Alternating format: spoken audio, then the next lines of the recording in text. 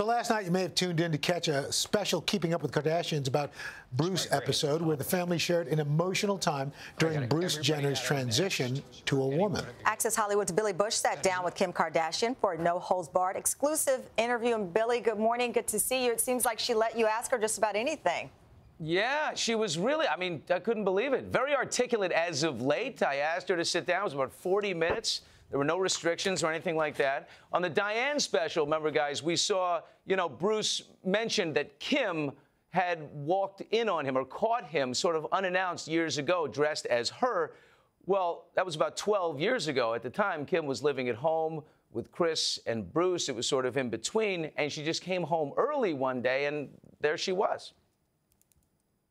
I just put my head down, ran into the house, and I remember I was literally shaking, packing an overnight bag to sleep at Kourtney's house. I didn't know.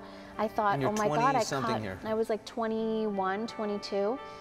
And I just remember thinking, oh my God, I've caught him with this secret. And this is, you know, he didn't want me to see this. So I just got out of there so fast. Did you ever talk about it? He called me 30 minutes later.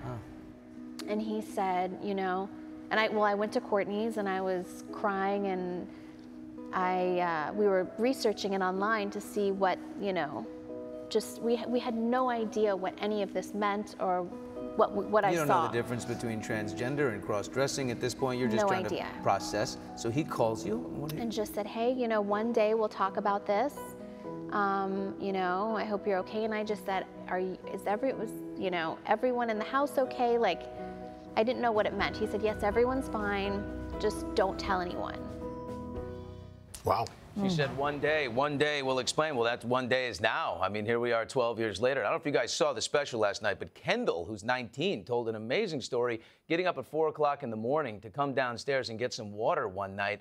And Bruce was dressed in as fully as a woman, and they nearly ran into each other. Bruce kind of turned, and then, you know, Kendall nearly ran into him, but, you know, luckily got away and went upstairs. And you know, they never spoke about it. That was just a year ago. Mm-hmm. So wow, they were keeping a lot of secrets. Yeah, As Bruce said, he had the real story all along. All right, Billy. Isn't that amazing? It is yeah. amazing. It's an amazing journey. Yeah. Thank you. And you can see more of Billy's interview tonight on Access Hollywood.